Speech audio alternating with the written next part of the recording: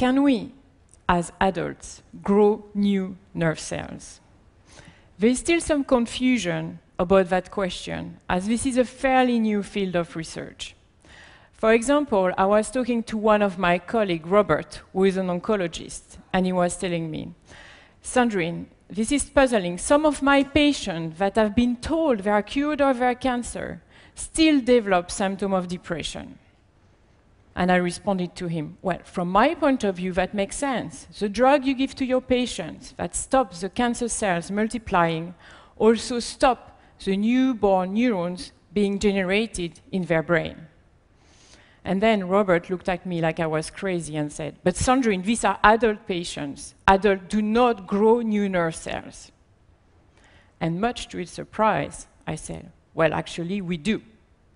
And this is a phenomenon that we call neurogenesis. So now, Robert is not a neuroscientist.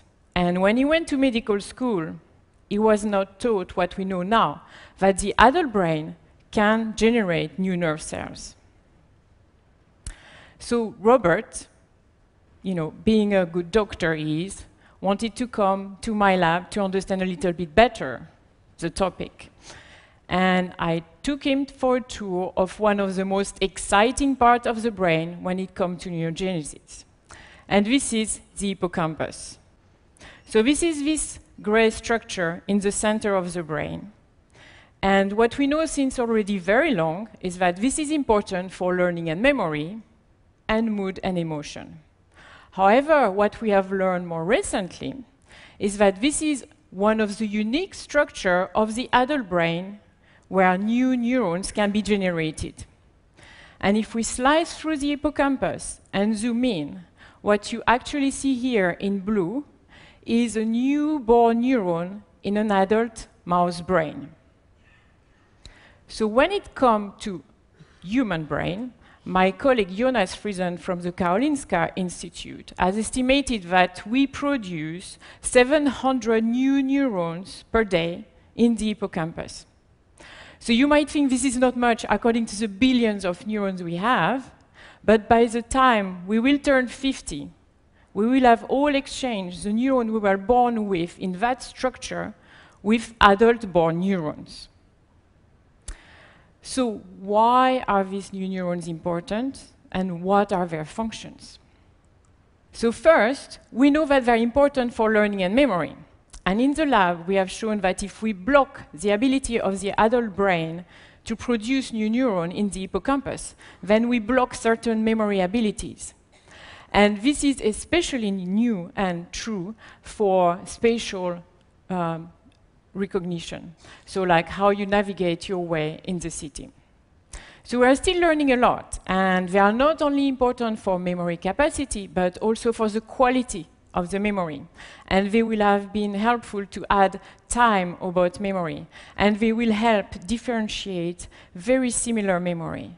Like, how do you find your bike that you park at the station every day in the same area, but in a slightly different position? And more interesting to my colleague Robert is the research we have been doing on neurogenesis and depression. So in animal model of depression, we have seen that they have a lower level of neurogenesis. And if we give antidepressants, then we increase the production of these newborn neurons and we decrease the symptom of depression, establishing a clear link between neurogenesis and depression. But moreover, if you just block neurogenesis, then you block the efficacy of the antidepressant. So by then, Robert had understood that very likely his patients were suffering of depression even after being cured of their cancer, because the cancer drug had stopped the newborn neuron to be generated.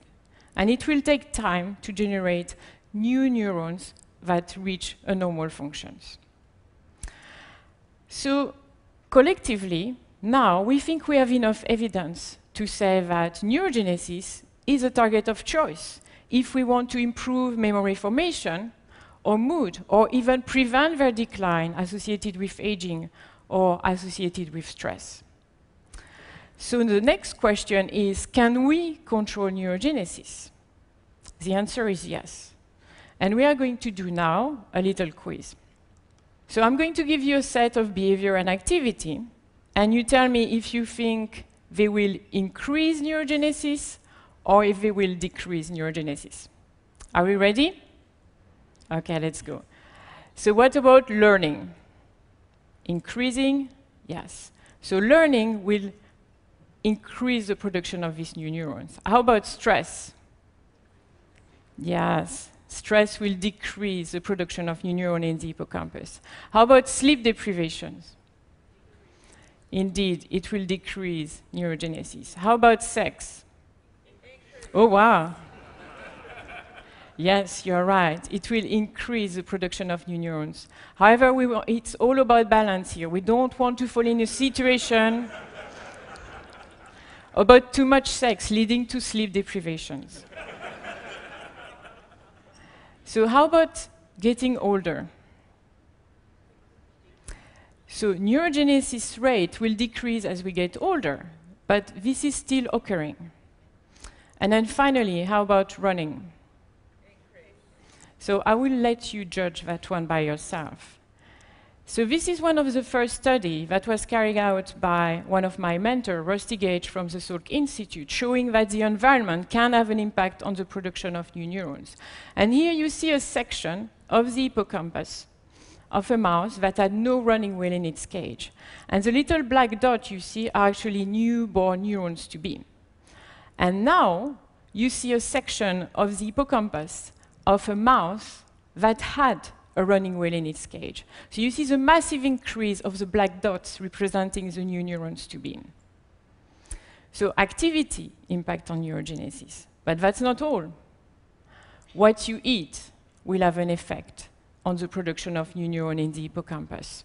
So here we have a sample of diet, a nutrient that have been shown to have efficacy.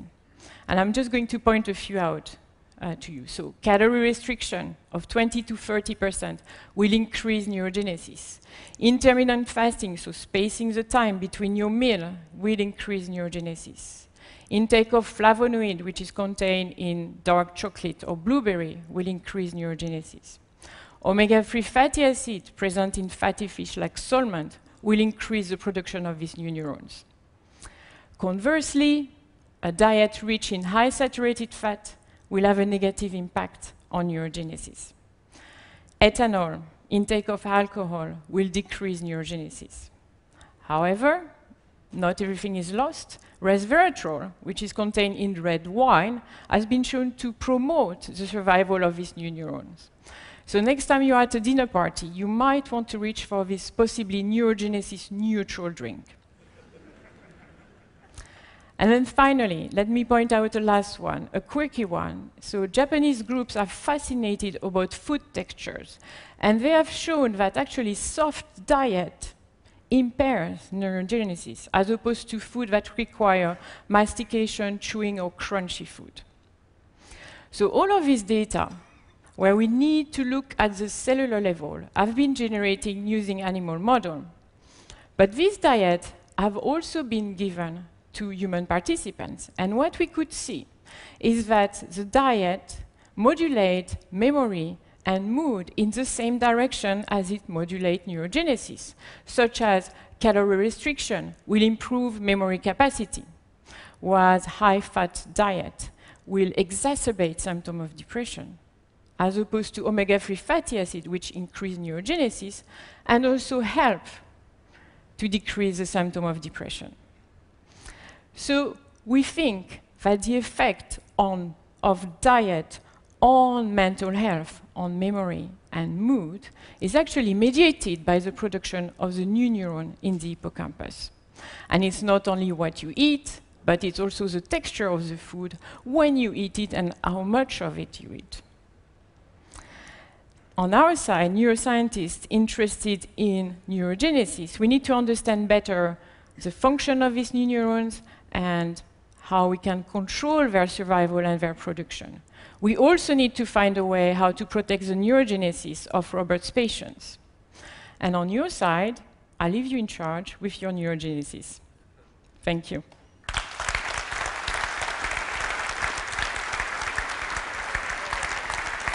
Fantastic research, Sandrine. Now, you, I told you you changed my life. I now eat a lot of blueberries. Very good. Right. Um, I'm really interested in the running thing, okay? Good, good. Do I have to run, right? Or is it really just about aerobic exercise getting oxygen to the brain? Could it be any kind of vigorous exercise? So for the moment, we can't really say if it's just you know the running itself, but we think that anything that in, in, indeed will increase the production uh, of the or moving the blood flow to the brain, you know, should be beneficial. Right, so I don't have to get a running wheel in my office. No, you don't. oh, what a relief. Okay, that's wonderful. Sandrine Thuret, thank you so much. Thank you, Margaret. Thank you.